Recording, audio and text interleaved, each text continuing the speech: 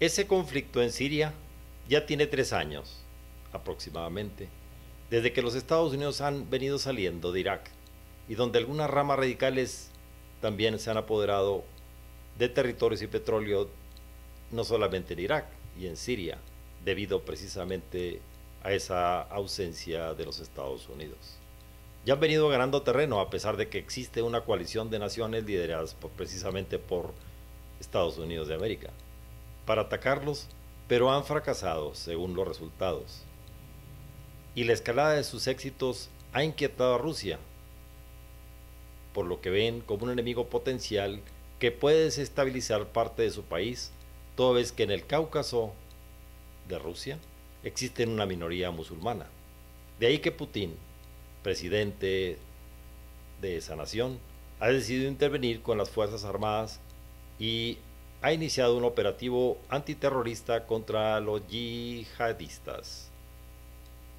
Ese operativo antiterrorista ruso en Siria comenzó el pasado 30 de septiembre. Pareciera que ha dado frutos, pues ha dejado innumerables bajas en material de guerra e instalaciones de los yihadistas. Cabe señalar que la lucha contra el terrorismo fue uno de los temas claves de los discursos pronunciados en la ONU hace unos días por parte de los líderes mundiales, pero cabría preguntarse si después de un año de que la coalición occidental inició sus operaciones y según los resultados ha venido fracasando en detener el avance de LI, ¿realmente existía o existe realmente interés en derrotar a los terroristas? En este contexto, el oso ruso decidió intervenir y el 30 de septiembre el Senado de esa nación aprobó la entrada en acción de sus fuerzas aéreas en Siria, después de que Bashar al-Assad solicitara a Moscú ayuda militar para luchar contra los terroristas. Y solo 14 horas después, los aviones rusos ya estaban bombardeando puntos estratégicos del Estado Islámico.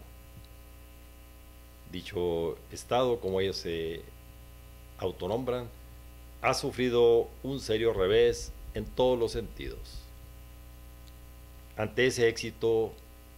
ruso, las potencias de Occidente pareciera que lo ven con desconfianza y miedo a perder el liderazgo en esa lucha. Pareciera también que les incomoda a Vladimir Putin como un garante de la lucha contra el terrorismo. No olvidemos que la política estadounidense se basa en la idea de que son excepcionales y son la única potencia, y por eso se han arrogado el derecho a dictar de manera de vivir a cualquier país. Y es por ello que ante el nuevo liderazgo de Rusia en Siria, cabe preguntarse si el unilateralismo que pregona Washington ha quedado atrás, al menos por lo que hace a esa región del globo. Pero esa nueva circunstancia en el teatro de la guerra en Siria, esperemos que no se convierta por ambición o intereses geopolíticos de las potencias involucradas, en un fenómeno nefasto de confrontación que reedite una segunda versión de la llamada Guerra Fría que se produjo entre la entonces Unión de Repúblicas Socialistas Soviéticas y los Estados Unidos de América.